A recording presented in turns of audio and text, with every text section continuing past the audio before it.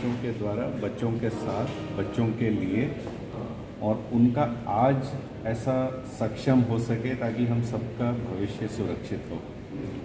हम इस पूरे प्रक्रिया को ज़मीन स्तरी से उठाना चाहते हैं कि जब नीतियाँ निर्धारित होती है, जब एक्शन प्लान बनते हों, उनके पीछे बच्चों का उतना ही हक बने। हम ये पूछते हैं कि क्या उनकी वास्तविकता मैटर करती है कि नहीं?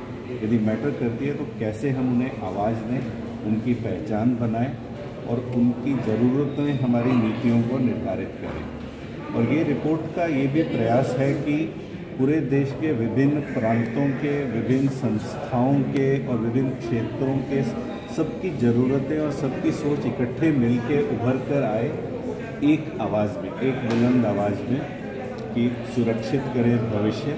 आज का बच्चों के ज़रूरत को पूरा करते हैं। सर आपके पास प्लान भी है डेटा भी है सब कुछ है। बट अब एक्शन कब लिया जाएगा? तो मेरी मेरा सपना ये है कि अगले साल का बजट यदि उस बजट में सरकार बच्चों के लिए इन्वेस्टमेंट के रूप से नॉट कॉस्ट के रूप से इन्वेस्टमेंट के रूप से यदि अपनी योजना को कमिट करे आगे कि इस देश में जो 40 प्रतिशत जनता है जो बच्चे हैं युवा हैं उनके लिए हमारी योजना और योजना के ज़रिए हमारे जो रिसोर्सेज ये कमिटेड हैं तो मैं समझूँगा कि हम कार्य क्रियान्वयन हो जाएगा इसका। यदि सरकार हम और संस्थाएँ ये नहीं करेंगी तो शायद बच्चे इन फैसलों को अपने हाथ में ले लें।